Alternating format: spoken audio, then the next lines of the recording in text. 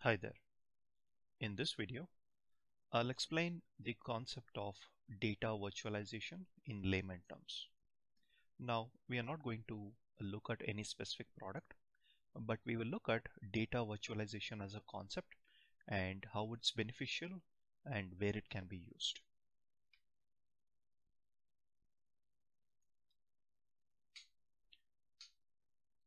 This is a architecture diagram of a typical organization.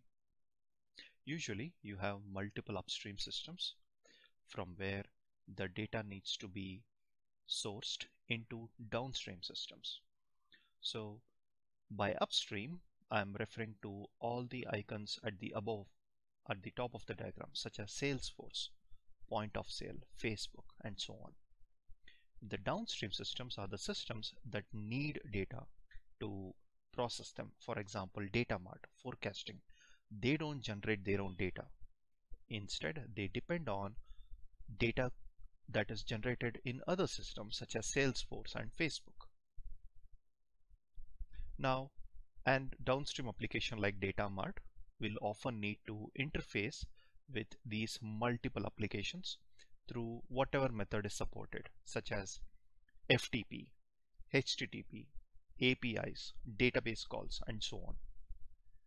Often these methods, the number of systems, they change.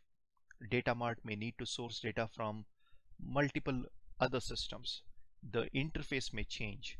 As the architecture of one of these underlying systems change, so do the connectors. To address this, organizations these days have come up with the concept of a data lake right? Data lake what we do is we source the data from the upstream systems and the data is persisted in the data lake meaning the data is stored.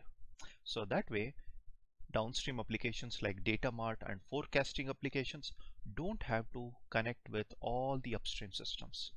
Instead they can connect to one large data repository called a data lake and then they can use the data from there. So this avoids having to access multiple systems and dealing with the multiple interfaces. However, this presents a problem. The problem is that of data freshness. What is the guarantee that the data in the data lake is current, is the latest that is available? What if there is a latency between the upstream system providing the data to the data lake. Often there are needs for downstream where they need access to the most current information and not historical information.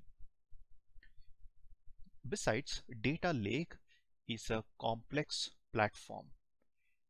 It not only requires a lot of effort to put together a data lake, but also it takes a lot of time for the data to ingest to be ingested into the data lake.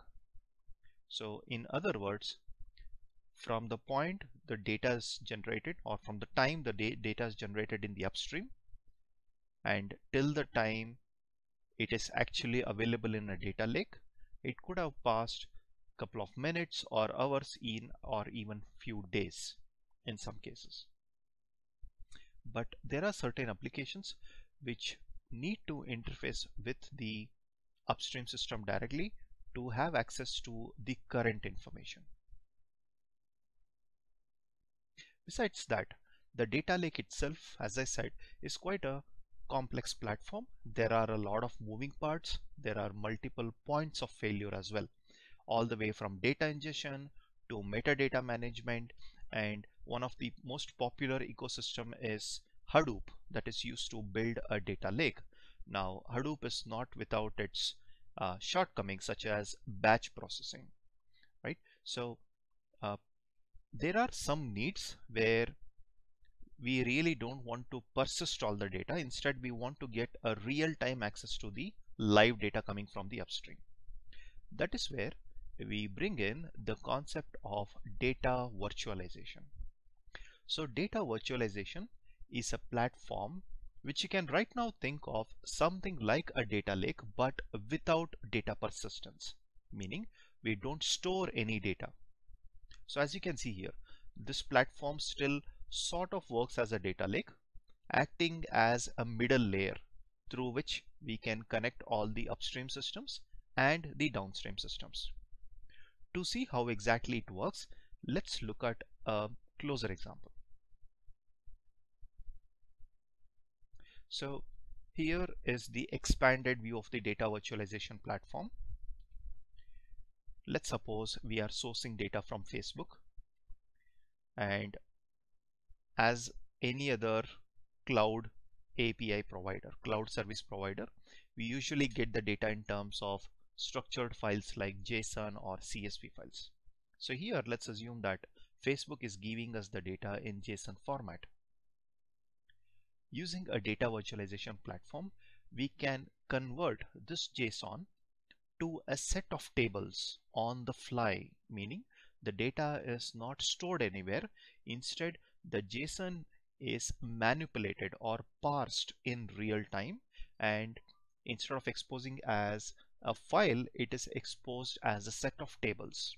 Now, as a developer, you will have control over how to model these tables. What is the table name? What is the column name? What are the data types? Those are things that you as a developer have control over.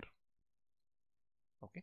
And now these tables can be exposed to the downstream systems such as data mart or power users. Now let's suppose the data mart starts referring to these tables.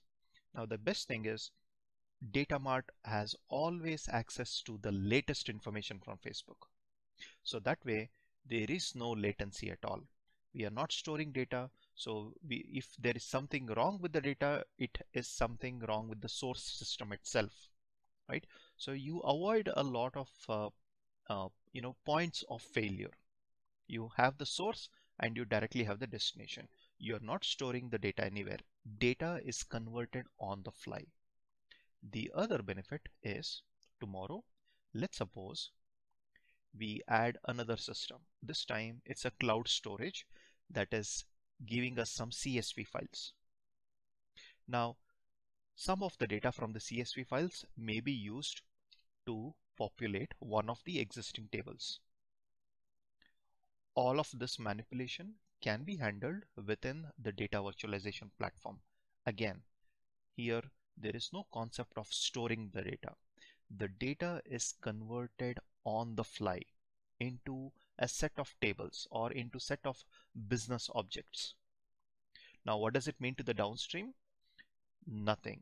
The downstream shouldn't be concerned about this change at all because all these changes are handled within the platform.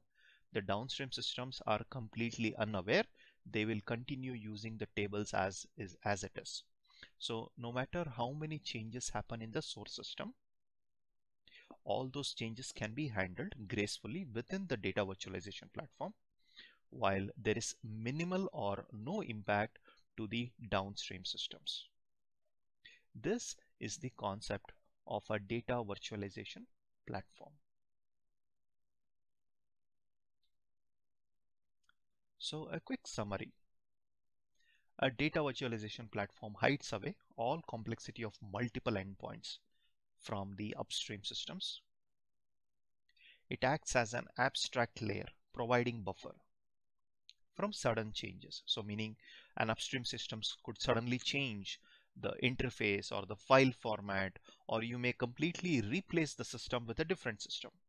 All of those changes can be still managed within the data virtualization platform. It provides real-time data. So like I said, unlike a data lake, we don't store the data here.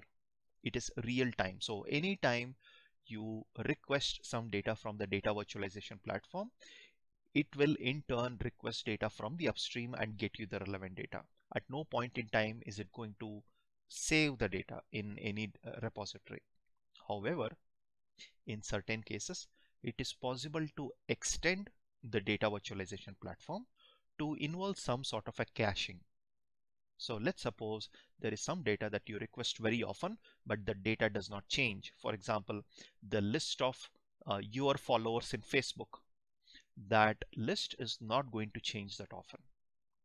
So uh, something like that can be cached within the data virtualization platform so that you you reduce the amount of information that is retrieved from the upstream system every time. So these are some some uh, customizations that you can do uh, in the data virtualization platform. And since we get the real data, real-time data as is from the source to the uh, to the downstream, the the trust of the system increases with the users, right? So the users are now able to see the real live data. They they, they uh, they really don't question about okay you know what is the data ingestion? Are we storing the data anywhere? So all those questions are uh, you know th there's no there's no room for such questions in a data virtu virtualization platform. And it saves a ton of resources while avoiding data integration and persistence. So if you were to set up a data lake that's a huge project by itself you have to set up the infrastructure you have to install the software, set up the Hadoop clusters, and then the data ingestion uh, is something that is quite time consuming. Not to mention the diff many different options that, that are there that you have to play around with until you find the perfect solution. All of this can be avoided if you have a data virtualization software. Also, in some cases, avoiding a data lake is not possible. Let's suppose you're using the data lake for storing large amounts of data. You still need a data lake. In that case, before you start building a data lake, it would be a good idea to use a data virtualization product to do a quick POC. What are the different upstream systems we have? How can I connect to them? And can I am I able to see connected data from all these systems. So an analysis like that is better done using a data virtual virtualization platform as a POC before moving on to a data lake. Now, at this point, I would like to stress upon the point that data virtualization is not a replacement for data lake. It is an alternative. However, you need to keep a few things in mind before going ahead with a data virtualization platform. You see, data virtualization is perfect where you have small amounts of data that you need for your analysis and the data is not requested multiple times. If that is the criteria, a data virtualization product is perfect. However, if you have a need for storing large amounts of data and you are processing you need to process all of the historical data from time to time. Maybe you're doing some aggregations uh, you are running some machine learning algorithms on on some massive amounts of data or you're using it for forecasting. If that is the use case data virtualization platform may not be the best solution. You still may have to set up a data lake kind of a platform so that's about the data virtualization platform.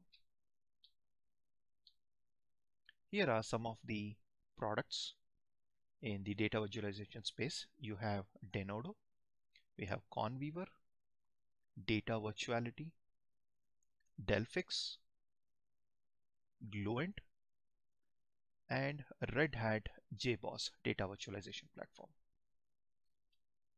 Thanks for watching this video. If you found this video useful, please don't forget to like and subscribe to my channel. I'll be back with more videos. Thank you.